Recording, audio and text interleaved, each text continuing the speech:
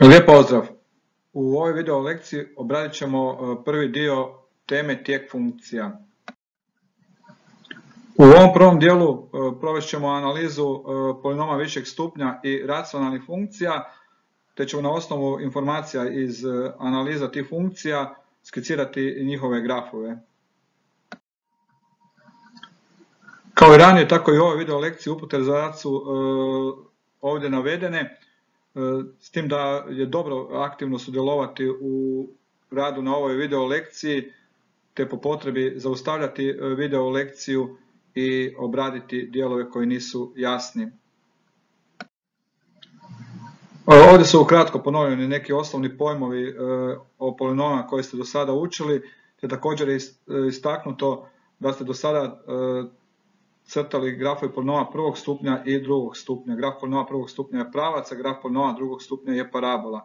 Za polinome e, višeg stupnja od 2, dakle trećeg, četvrtog i tako dalje stupnja, e, potrebna je e, dodatna analiza u kojoj moramo primijeniti derivacije i to ćemo u sljedećem dijelu ove video lekcije pokazati.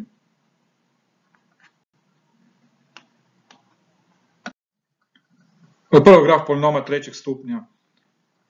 Ovdje je zapisan polinom trećeg stupnja u općem obliku. Stavljena napomena da e, vodeći koeficijent, dakle koeficijent uz x na treću e, mora biti različit od nula i da je domena polinoma cijeli skup realnih brojeva.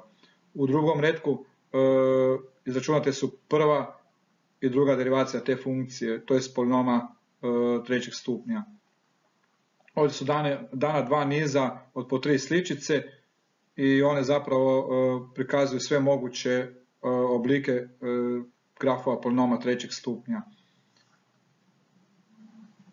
Razdijeljene su u dva niza u ovisnosti o preznaku vodećeg koeficijenta, to je koeficijenta uz x na treću. Zato što zapravo ponašanje polinoma, u ovom slučaju polinoma trećeg stupnja, u plus i minus beskonačnu ovisi o, ovom vodećem članu ovdje. Dakle, kada je x e, negativan, x na trećoj je negativan, budući da je pozitivan, onda je umnožak negativan. To opravdava ovaj dio grafa, a za x pozitivan, znači kada x ide plus beskonačno, onda je x na treću pozitivan, budući da pozitivan, onda je ovaj vodeći član pozitivan, dakle za jako velike pozitivne brojeve, odnosno kada ih stežu beskonačno, onda će i vrijednosti ove funkcije težiti beskonačno. Tako se e, zaključuje dakle i u slučaju kada je a negativan, samo što onda je ovaj umnožak suprotnog preznaka, pa su ove uloge od plus i minus beskonačno zamijenjene u odnosu na ovaj prvi redak. E, ovaj ovdje dio grafa, unutarnji dio grafa pod nova trećeg stupnja, dobiva se kada se primijeni analiza kod koje se primjenjuje e, prva, kod koje se primjenjuje prva i druga derivacija polinoma trećeg stupnja. I taj dio vam ostavljam da si e, nakon provedete i zabilježite nakon što prođemo i obradimo konkretno nekoliko primjera. Prvo, polinom f od x jednako x na treću, graf tog polinoma je kubna parabola. Domena tog polinoma kao i svih polinoma je skup realnih brojeva. E, ova funkcija e, je neparna, pa, pa je njezin graf simetričan s obzirom na ishodište. E, ima jednu nul točku i to je trostruka nul točka. Nakon što se izračunaju prva i druga derivacija te funkcije, prvo se potraži stacionarne točke, ima jednu stacionarnu točku, to je ponovno u nuli, koja je ponovno u nuli, budući da je prva derivacija 3x na kvadrat i ta funkcija je ne negativna, to znači da se e, preznak prve derivacije ne mijenja. U stacionarnoj točki, to znači da se ne mijenja niti u njoj monotonost, i budući da je ta prva derivacija ne negativna, funkcija na cijeloj svojoj domeni rastuća. Točka inflekcije je u drugoj derivaciji, sad trebamo samo vidjeti je, je nul točka druge derivacije točka infleksije ili nije, a do tog zaključka dolazimo na temelju preznaka druge derivacije do te točke, odnosno do nule, budući da je f2 puta derivirano 6 puta x, za x od minus beskonačno do 0, 6 puta x je negativno, znači na tom intervalu druga derivacija je negativna pa je funkcija tu konkavna. Nakon 0, znači od 0 do plus beskonačno 6 puta x je e, pozitivna, druga derivacija je pozitivna pa je tu funkcija konveksna. To se sada primijeni kod skiciranja grafa ove funkcije. Dakle, kao što smo rekli, e, do nule funkcija je konkavna. Ovdje ima točku infleksije i nakon nule je konveksna. Na cijeloj domeni je rastuća. Tu gdje ima infleksiju ima i nul točku. I vidi se da je funkcija simetrična s obzirom na ishodište. Da je graf funkcije simetričan s obzirom na ishodište. I sljedeći primjer je također ovoga e, polom trećeg stupnja, f od x jednako x na treću manje x na kvadrat. Ono što odmah vidimo, dakle, ovdje funkcija nije niti parna, niti neparna. Odredimo prvo domenu, domena poloma je skup svih realnih brojeva, zatim se odrede nul točke, znači se funkcija sa nulom, e, nul točke su 0 i 1, e, s tim da je nula dvostruka nul točka. Nakon određivanja nul točaka izračunaju se prva i druga derivacija te funkcije i sada se prva derivacija primijeni za određivanje stacionarnih točaka te funkcije. Znači izjednači se prva derivacija s nulom, dobiva se kvadratna jednadžba koje su rješenja 0 i 2 trećine. E, što imamo u tim stacionarnim točkama, to ćemo utvrditi na osnovu preznaka e, prve derivacije na intervalima koji su određeni sa, sa ove dvije s ove dvije stacionarne točke. I to je najlakše utvrditi najbrže tako da se skicira e, graf prve derivacije. Vidimo da je prva derivacija kvadratna funkcija, e, imamo njezine nul točke i vidimo da je koeficijent uz x kvadrat pozitivan, dakle to će biti parabola koja je ovako okrenuta prema gore i ovdje su istaknuti presjeci te parabole s osi x Dakle, to su 0 i 2 trećine, to su naše stacionarne točke. Na intervalu od minus beskonačno do prve stacionarne točke, odnosno do 0, preznak prve derivacije je pozitivan, znači da tu funkcija strogo rastuća, nakon je preznak prve derivacije negativan. Dakle, u ovoj stacionarnoj točki funkcija ima maksimum, zato što je do nje rastuća, nakon nje je padajuća. I sada se ovdje i lagano izračuna e, taj maksimum, znači e, to je lokalni maksimum, vidjet ćemo kasnije, nakon tako da se ta vrijednost nula uvrsti u funkciju i dobije se y koordinata točka koja naša graf e, naše e, funkcije ima lokalni maksimum.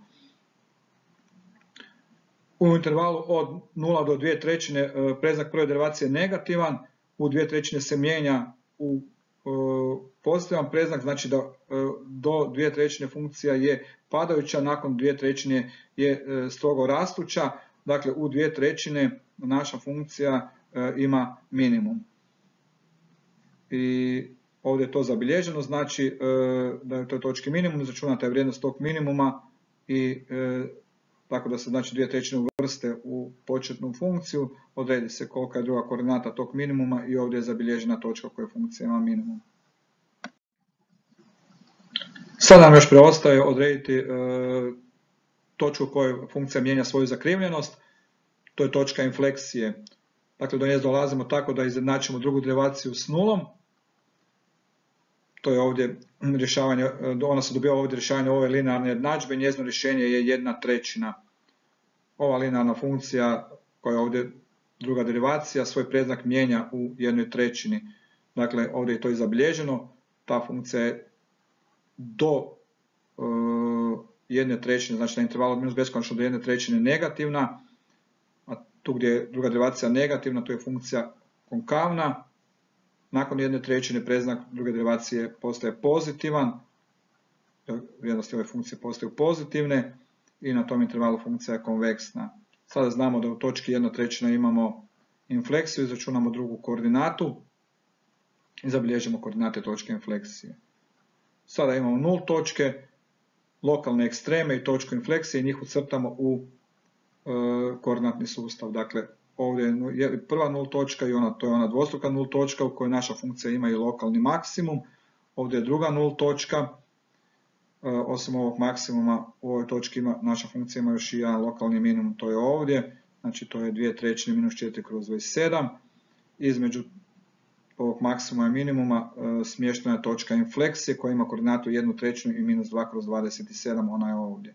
Nakon što ucrtamo te točke, skiciramo graf funkcije, znamo da je u ovom dijelu do točke infleksije ona udubljena, odnosno konkavna, i nakon te točke infleksije je ispupčena, odnosno konveksna.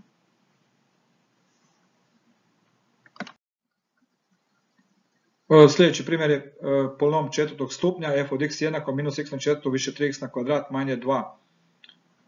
Odmah iz e, stupnjeva, odnosno potencija ovih članova x na četvrtu x na kvadrat možemo zaključiti da je ova funkcija parna i zabilježiti da će njezin graf biti simetričan s obzirom na ordinatu, to je os y. Također u ovom prvom dijelu zabilježimo i da domena ove funkcije skup svih realnih brojeva. U drugom dijelu odredimo nul točke ove funkcije, tako da ju izjednačimo s nulom, dobivamo, polinom, čet, e, e, dobivamo jednadžbu četvrtog stupnja, odnosno bi kvadratnu jednadžbu, koja ima četiri realna rješenja i to su zapravo točke u kojima će graf ove funkcije presjecati os x. Sada se odrede prva i druga derivacija te funkcije i nakon što smo to, ih odredili, pod broj 3 izračunamo stacionarne točke. Stacionarne točke dobivamo tako da potražimo nul točke od prve derivacije i to je jednadžba trećeg stupnja koja ima ova tri rješenja. Sada ekstreme, a i intervale monotonosti možemo na različite načine utvrditi. Ja ću vam sada kod u ovom primjeru pokazati tri načina kako možemo uh, utvrditi ekstreme i intervale monotonosti. Prvi način je iz preznaka od prve derivacije, ali tako da skiciramo e, graf e, ove funkcije koja je funkcija prve derivacije, odnosno graf ovog polinoma trećeg stupnja. E, njega lagano možemo skicirati zato što imamo sve tri njegove nul točke i on može imati maksimalno tri nul točke i one su ovdje ucrtane u, na os x, dakle to su minus korin 6 kroz 2, 0 i korin 6 kroz 2, to su ove tri stacionarne točke. I ono što znamo dakle da je e, vodeći koeficijent kod ovog ponova trećeg stupnja minus 4, znači dio grafa će biti do ove prve njegove nul točke u pozitivnom dijelu, ovdje presjeca os x, u sljedećoj nul točki presjeca os x i u trećoj nul točki presjeca x. Znači u ovim nul točkama e, koje su ovdje stacionarne točke mijenjaju se predznaci. I vidimo da se u minus korin 6 kroz 2 i u korin 6 kroz 2 predznak iz plus mijenja u minus. To znači da do te dvije stacionarne točke e, funkcija, s obzirom na pozitivan predznak, do njih je e, rastuća, a nakon njih je predznak druge derivacije negativan, znači je padajuća. Dakle, u minus korin 6 kroz 2 i u korin 6 kroz 2 ova naša funkcija ima maksimum i to je zabilježeno ovdje. Ovo plus minus korin 6 kroz 2 to se poklapa i s e, konstatacijom da je graf e, ovog polinoma simetričan s obzirom na ordinatu. Odmah se mogu izračunati i vrijednosti e, i naravno da će vrijednosti i za minus i za plus korin 6 kroz 2 biti jednake. I ovdje su e, zabilježene koordinate od ova dva maksimuma. U nuli Predzak prve derivacije e, se mijenja iz minusa u plus, to znači da je do nule e, funkcija padajuća, a nakon nule je rastuća. E, to znači da ovdje u nuli, u toj stacionoj točki naša funkcija ima minimum i to je ovdje zabilježeno i ovdje je taj minimum. Ovo je bio prvi način, dakle gdje se na brzinu može skicirati graf ovog polinoma trećeg stupnja ako ga znamo skicirati i mogu se provesti zaključci na osnovu predznaka prve derivacije iz grafa ovog polinoma trećeg stupnja. Predznaci prve derivacije mogu se utvrditi i preko tablice predznaka. Dakle, faktorizira se prva derivacija, napravi se tablica predznaka i utvrđujući e, predznake na pojedinim intervalima, to su predznaci prve derivacije, tamo gdje je prva derivacija pozitivna funkcija je strogo rastuća, tamo gdje je prva derivacija negativna, to je strogo padajuća i evo dobivamo ove intervale rasta i pada koji su i ovdje zabilježeni. To su intervali monotonosti ove naše funkcije koja je zadana. I ponovi se zaključak, dakle, da e, u ovim točkama do kojih funkcija raste i nakon kojih pada, a to su do minus korijen 6 kroz 2 i do korijen 6 kroz 2, da u njima funkcija ima maksimum, a u ovoj točki do koje je funkcija bila padajuća, pa nakon koje je postala rastuća, znači da ima minimum. A treći način kako možemo također utvrditi e, intervale monotonosti, odnosno e, koje ekstreme funkcija ima u stacionarnim točkama je preko preznaka druge derivacije. Ovdje je druga derivacija e, zapisana i sad ako se uvrsti e, minus koren 6 kroz 2 ili koren 6 kroz 2, e, dobit će se ista vrijednost, dobit će se minus 18, dakle vidimo da je preznak druge derivacije u, u te dvije stacionarne točke negativan, tamo gdje je preznak druge derivacije, e, točka u kojoj je preznak druge derivacije negativan, u toj točci funkcija ima maksimum. Ako se uvrsti nula, treća stacionarna točka dobije se vrijednost 6, znači prednak druge derivacije je pozitivan i u toj točci ova naša funkcija ima minimum. I sad na osnovu e, ovih ekstrema utvrđuje se i kakva je funkcija na intervalima do njih. E, kakva je monotost funkcije na intervalima e, do tih i od tih ekstrema. Ono što još preostaje, a to je utvrditi točke infleksije i intervali na kojima je funkcija konkavna, odnosno konveksna. E, izjednačujući drugu derivaciju s nulom, dobivamo e, nul točke e, ove kvadratne funkcije koja je druga derivacija naše funkcije i u tim točkama će se mijenjati preznak druge derivacije, znači u njima će se mijenjati i zakrivljenosti.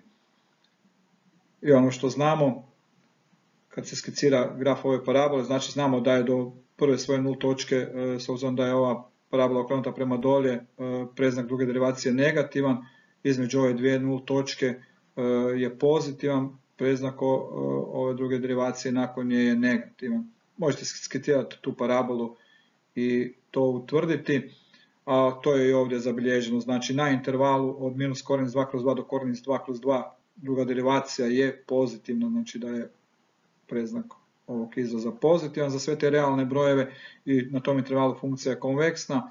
Na ovom intervalu do minus korijen iz 2 kroz 2, znači od minus beskonačno korijen iz 2 kroz 2 i od drugi korijen iz 2 kroz 2 do plus beskonačno e, preznak druge relacije negativan, znači tu je funkcija konkavna.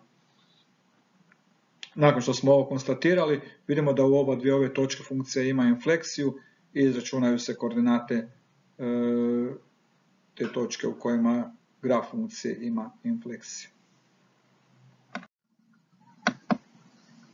I sada na osnovu dobivenih podataka e, skiciramo graf funkcije. Dakle, ucrtaju se, kao što sam rekao na početku, sve četiri nul točke. E, prvo na os x, nakon toga ucrtaju se ova dva maksimuma, minimum i točke e, infleksije. Nakon što se crtaju te točke, lagano se povući krivulja između tih točaka, s tim da se pripazi, znači da u ovim točkama, znači ovo je prva točka infleksije, znači iz ovog područja gdje je funkcija bila udubljena, odnosno konkavna, prelazi u konveksnu i nakon opet ove od nul točke prelazi u konkavnu. I ono što sad ovdje lijepo se vidi na grafu ove funkcije, to što smo na početku istaknuli, to je da je graf ove funkcije simetričan s obzirom na os y, odnosno ordinatu. Evo, sada smo završili ovaj dio lekcije e, u kojem smo obradili e, crtanje grafova polinoma.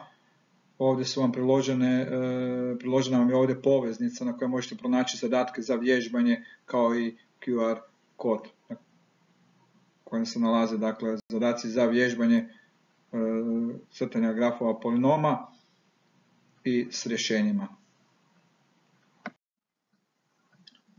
U drugom dijelu ove video lekcije crtat ćemo grafove racionalnih funkcija, racionalnih funkcija posebno je važno utvrditi domenu racionalne funkcije, dakle odrediti nul točke nazivnika, ako ih ima, njih izbaciti iz područja definicije, odnosno iz domene funkcije, te točke ćemo zvati točke prekida i u njima naša racionalna funkcija ima vertikalne asimtote, dakle e, trebamo vidjeti kako se e, ispita ponašanje funkcije u blizini tih točaka prekida, da bismo kasnije to primijenili kod skiciranja grafa racionalne funkcije. Također, e, dosta je bitna, bitan odnos između stupnjeva polinoma u brojniku i u nazivniku, te je ovdje u ova tri dijela slučaja zapravo ovoga prodiskutirano e, kada e, racionalna funkcija ima horizontalnu asimtotu, kada e, kosu, a kada nema niti jednu niti drugu asimtotu u ovisnosti o stupnjevima brojnika i nazivnika, polinoma koji su u brojniku i nazivniku. Prva racionalna funkcija od koje ćemo graf nacrtati ovdje je f od x jednako 1 kroz x. Graf te funkcije je istostrana hiperbola e, kojoj je nađba x puta y jednako 1. Funkcija f od x jednako 1 kroz x je neparna funkcija i zato je njezin graf centralno simetričan s obzirom na ishodište. E, dobiva se dobiva tako da se e, njezin nazivnik izjednači s nulom i domena su svi realni brojevi bez nule. Dakle, skup realnih brojeva bez nule. Kažemo da u točki x jednako 0 ova funkcija ima prekid, i računajući e, limit s lijeve strane i s desne strane vidimo da e, vrijednosti funkcije s lijeve strane težu minus beskonačno, a s desne strane u plus beskonačno i na osnovu toga, na osnovu toga konstatiramo da e, je pravac kojemu je jednadžba x jednako nula vertikalna asimptota grafa ove funkcije. Limit funkcije u plus beskonačno i minus beskonačno je jednak nula, pa kažemo da je pravac y jednako nula horizontalna asimptota od grafa funkcije. E, nakon što izračunamo prvu i drugu derivaciju od ove ovdje funkcije, uočimo da ne postoji e, nul točka od prve derivacije, odnosno e, ova funkcija nema stacionarnu točku, također ne postoji dakle ovoga nul točka od druge derivacije, dakle ova funkcija nema niti točku infleksije. Predznak prve derivacije može se jedino promijeniti u točki prekida, no međutim, budući da je f derivirano minus 1 kroz x na kvadrat i da je e, predznak od minus 1 kroz x na kvadrat na cijeloj domeni e, negativan, zato što x na kvadrat za sve realne brojeve različite od nula pozitivan, onda je minus 1 kroz x na kvadrat negativan, vidimo da je prva derivacija na cijeloj domeni negativna, to znači da je funkcija strogo padajuća na cijeloj svojoj domeni. E, druga derivacija mijenja svoj preznak u nuli, jer x na treću je do nule e, negativno, a nakon nule je pozitivno. Znači da se u točki prekida mijenja preznak druge derivacije, odnosno mijenja se e, zakrivljenost ove funkcije. Znači do nule je druga derivacija negativna i tu je funkcija konkavna, a nakon nule je druga derivacija pozitivna, znači tu je funkcija konveksna. A ovo smo već podiskutirali, dakle na je cijeloj svojoj domeni prva derivacija negativna i da je funkcija tu strogo padajuća. Nakon što smo konstatirali i napravili ovu analizu e, ove funkcije, e, možemo skicirati njezin graf. E, ucrta se nekoliko točaka s ove strane i budući da je ovo točka koja je centralno simetrična, tako se mogu i s ove strane skicirati ove iste točke. E, vidimo da se s desne strane graf funkcije e, približava osi y i to gore u plus beskonačno.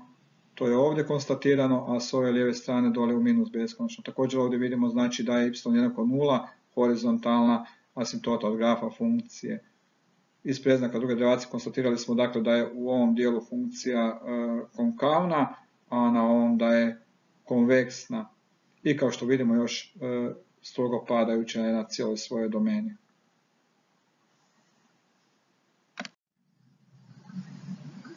E, sljedeći primjer je e, racionalna funkcija g od x jednako 1 kroz x na kvadrat. Prvo konstatiramo da je to parna funkcija i zabilježimo da je graf osla simetričan s obzirom na ordinatu. Domenu dobivamo kao i prethodnom primjeru, izjednačimo nazivnik s nulom i vidimo da je ona definirana za sve realne brojeve osim za nulu dakle točka x jednako 0 je točka prekida, e, izračunamo lijevi i desni limes u točki prekida e, i oni su plus beskonačno i konstatiramo dakle da je e, pravac x jednako 0 vertikalna asimptota od grafa ove funkcije. Također horizontalna asimptota se dobiva tako da se izračuna limes te funkcije u beskonačnosti, on je jednak 0, dakle jednažba horizontalne asimptote od grafa ove funkcije y jednako 0 kao i u prethodnom primjenu, e, primjeru e, izračunamo prvu i drugu derivaciju i iz prve i druge derivacije vidimo dakle da one nemaju nul točaka, što znači da ova funkcija također nema stacionarne točke i nema točke infleksije. Monotonost e, funkcije se mijenja u točki prekida, može se mije promijeniti u točki prekida i ona se ovdje i mijenja u točki prekida zato što x na treću e, mijenja preznak u nuli. I vidimo da je za negativne x-eve x na treću negativno, pa je e, minus 2 kroz x na treću pozitivno i to ovdje piše, dakle za sve realne brojeve e, strogo manje od nula, prva derivacija je strogo veća od nula, znači tu je funkcija strogo rastuća. Nakon nule, znači za pozitivne x-eve ovo je pozitivno, sve zajedno je negativno i ovdje piše prva derivacija je negativna kada je x veći od nula, znači tu je strogo padajuća funkcija. A druga derivacija, e, ona je cijelo vrijeme na području definicije e, funkcije pozitivna zato što x na četvrtu za sve brojeve različite od nula e, pozitivan. I to ovdje piše, znači budući druga derivacija na cijeloj svojoj domeni e, pozitivna, na čitavoj toj domeni funkcija je konveksna. Dakle, dobivene e, podatke upotrebimo kod skiciranja grafa ove funkcije, ponovo se skicira nekoliko točaka i povuče se graf funkcije s ove i s ove strane. Vidimo da je on simetričan s obzirom na os y, jer je funkcija parna, vidimo da je y jednako 0 horizontalna asimptota i da kada se x približava k nuli s lijeve i s desne strane da graf funkcije ide u plus beskonačno, dakle da, se približava o plus beskonačno gore o, osi y.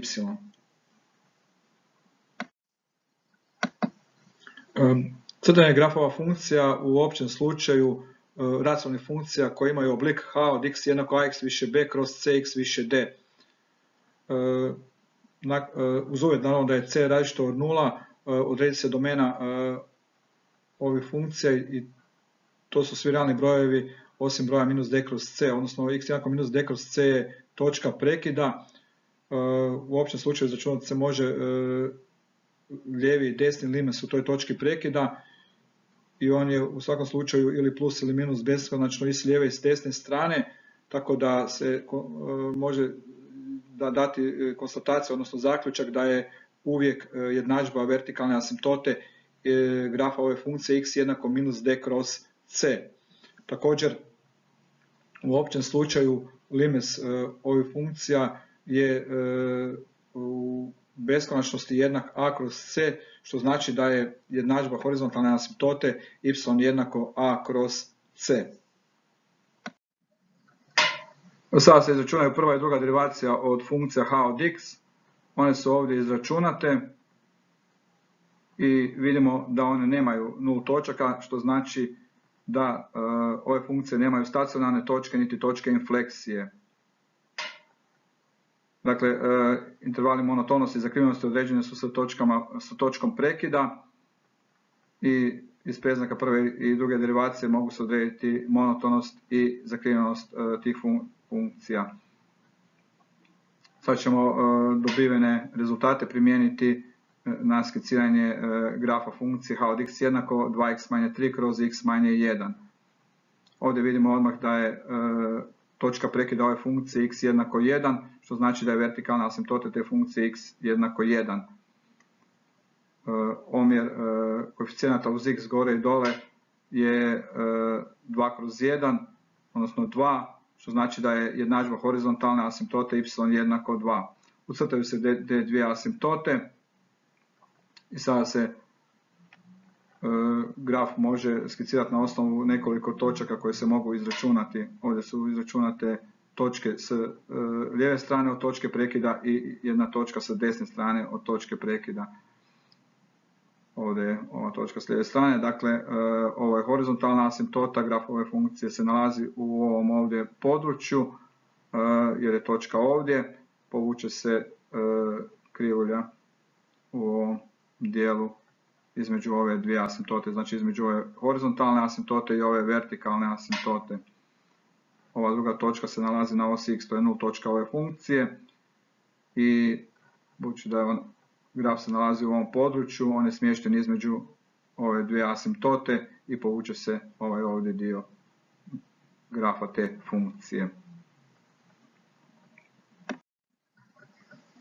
Sad ćemo u ovom primjeru E, nacrtati graf jedne funkcije koja, e, racionalne funkcije koja ima kosu asimptotu. To je funkcija f od x jednako x na kvadrat više 1 kroz x. Ono što se odmah može ovdje uočiti to je da je ova funkcija neparna. Zatim se odredi domena e, ove funkcije. Točka prekida je u nuli. Dakle, ispitaju se lijevi i desni limes vidimo da s lijeve strane funkcija teži u minus beskonačno, a s desne strane od točke prekida u plus beskonačno i jednadžba vertikalne asimptote od ove funkcije x jednako 0.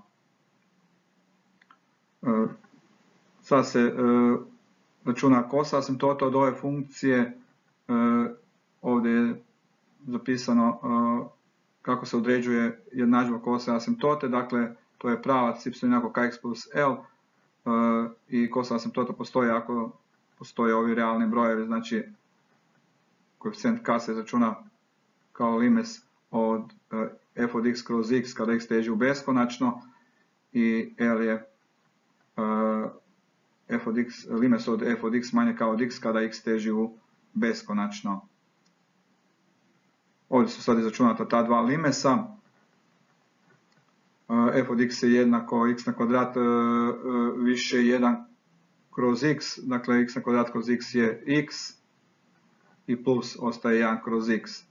Kada se f od x podijeli sa x, dobije se da je to 1 plus 1 kroz x na kvadrat. Sad se računa limes e, dobivenog ovog ovdje kocijenta, dakle limes od 1 više 1 kroz x na kvadrat jednako je 1. Dakle, kao postoji, to je realan broj koji je ovdje jednak 1. E, L je jednako po formuli f od x e, manje x. Kad se to izračuna dobije se 1 kroz x. Kada x teži u beskonačno, 1 kroz x teži u nulu. Dakle, L je jednako 1. Prema ovoj formuli y jednako kx plus L. E, jednadžba kose asimptote je y jednako x. Sada izračunamo prvu derivaciju funkcije f od x. Prva derivacija je jednaka x na kvadrat manje 1 kroz x na kvadrat, a druga derivacija 2 kroz x na treću. Izjednačimo prvu derivaciju s nulom i dobivamo stacionarne točke. Sada pogledamo kako se e, mijenja predznak prve derivacije. On se mijenja u stacionarnim točkama, ali se ne mijenja u točki prekida. Jer je x na kvadrat e, pozitivan za sve brojeve različite od nula. Preznak e, izraza x na kvadrat manje 1 e, do minus 1 je pozitivan i od 1 do plus beskonačno je također pozitivan. Znači da je na tim intervalima funkcija strogo rastuća. Sada u intervalu od minus 1 do 1 x na kvadrat manje 1 je negativno, no međutim u tom intervalu je i točka prekida nula, tako da moramo e, taj interval od minus 1 do 1 rascijepiti na dva intervala od minus 1 do 0 i od 0 do 1. No kao što smo već e, napomenuli, u nuli se ne mijenja e, preznak prve derivacije, tako da je prva derivacija na oba dva ova intervala negativna, to znači da je na tim intervalima funkcija strogo padajuća. Sada na osnovu promjene preznaka prve derivacije u stacionarnim točkama dakle od minus beskonačno do 1 ona je strogo rastuća, a na intervalu od, e, minus 1 do 0 je strogo padajuća, to znači da u točki minus 1 naša funkcija poprima maksimum. I ovdje je začunata y koordinata maksimum, f od minus 1 je minus 2, točka koju funkcija postiže maksimum je minus 1, minus 2.